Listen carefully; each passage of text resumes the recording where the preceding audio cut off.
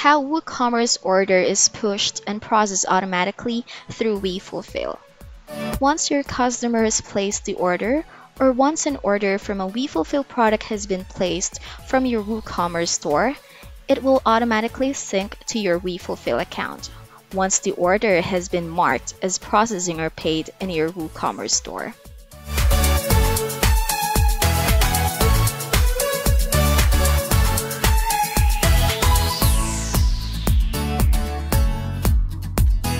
Now to process the order, you can go to your WeFulfill account. On My Orders tab, click the Sync New Orders button and all the current orders will automatically sync to your WeFulfill account. All you have to do is proceed with the payment. WeFulfill accept two ways of payment, through PayPal or through your WeFulfill wallet. After the order has been paid, you will see that the status has been changed. From there, WeFulfill will now process the shipment of your order.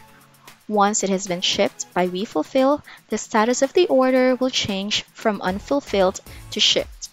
And you can check the tracking details of the order by clicking the eye icon on the side. WeFulfill provides the tracking number and the tracking link of the order for your reference as well as for your customers.